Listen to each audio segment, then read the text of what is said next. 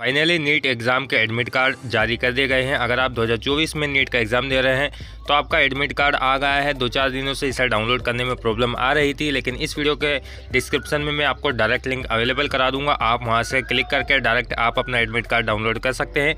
इस वीडियो में admit card किस तरह से डाउनलोड करना है, इसका कंप्लीट प्रोसेस दिखाने वाला हूँ। तो चलिए शुरू करते हैं। आपको इस वाली लिंक को ओपन करके यहाँ आ जाना है। ये लिंक आपको वीडियो के डिस्क्रिप्शन में मिल जाएगा। आप वहाँ से सीधे इस पर आ जाएँगे।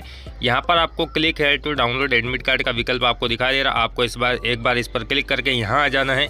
ये पेज आपके सामने खुलकर आ जाएगा। आप चाहें तो क्लिक करके सीधे इस पेज पर भी आ जाएँगे, जिसका लिंक वीडियो के डिस्क्रिप्शन में आपको मिलेगा। यहाँ आपने जो फॉर्म फिल किया था, उसका अप्लीकेशन नंबर जो होता है, वो अप्लीकेशन नंबर आपको यहाँ फिल करना है। आपकी जो डेट ऑफ़ बर्थ है, वो डेट ऑफ़ बर्थ आप यहाँ से सिलेक्ट कर लेंगे। यहाँ से आप अपना मंथ सिलेक्ट करेंगे।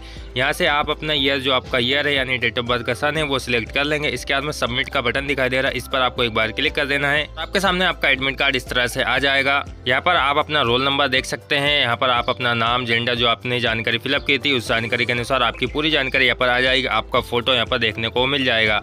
इसके बाद में स्क्रॉल करके थोड़ा नीचे आएँगे। यहाँ पर आपको टेस्ट डिटेल दिखाई देगी। जो आपने, अपने डिटेल भरी थी, वो दिखाई देगी। डेट ऑफ़ एग्जामिनेशन जैसा कि पता है, पाँच मई को एग्ज़ाम होना है। पाँच मई इसमें लिखी है। टाइम दिया गया है। इसके बाद में आपका जो एग्ज़ाम सेंटर आप यहाँ पर देख सकते हैं।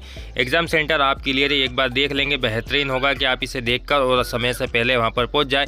यहाँ पर इसके बाद में स्क्रॉल करके नीचे आएँगे, यहाँ पर आपको चार से का जो पासपोर्ट साइज़ का फ़ोटो होता है पोस्ट कार्ड वो फ़ोटो आपको यहाँ पर लगाना होता है फ़ोटो आप यहाँ पर लगा देंगे। इसके बाद में नीचे कुछ और डिटेल दी गई है, इसे आप यहाँ से पढ़ लेंगे। इसके बाद में कुछ यहाँ पर जानकारी दी गई, निर्देश दिए गए आप इन्हें क्लियर सही तरीके से पढ़कर इस पर अमल करके ही आपको वहाँ पर जाना होगा। इसके बाद में आप इसे प्रिंट करना चाहते हैं तो प्रिंट करने के लिए आपको एक प्रिंट का बटन दिखाई दे रहा। आप इस पर क्लिक करके इसका पीडीएफ डाउनलोड कर सकते हैं या फिर आप अपने नज़दीकी ऑनलाइन की दुकान पर जाकर इसका प्रिंट निकलवा सकते हैं। नीट एग्ज़ाम 2024 के एडमिट कार्ड डाउनलोड करने की कंप्लीट प्रोसेस।